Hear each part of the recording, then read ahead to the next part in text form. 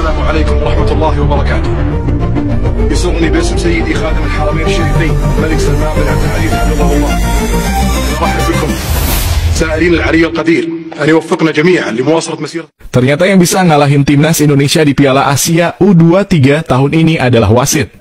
Itulah kata-kata yang diucapkan Presiden AFC Salman bin Khalifa untuk menggambarkan bobroknya kepemimpinan wasit yang memimpin laga semifinal Piala Asia U23 antara timnas Indonesia versus Uzbekistan.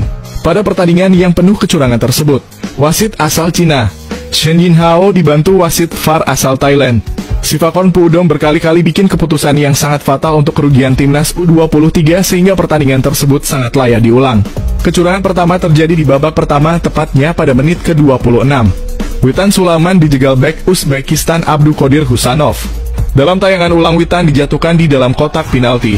Semua pemain Indonesia meyakini pelanggaran itu akan membuahkan hadiah tendangan 12 pes untuk Indonesia. Namun setelah melihat VAR wasit Shen Yinhao asal Cina menyatakan bukan pelanggaran untuk Indonesia, tapi malah Witan yang dinyatakan melakukan pelanggaran.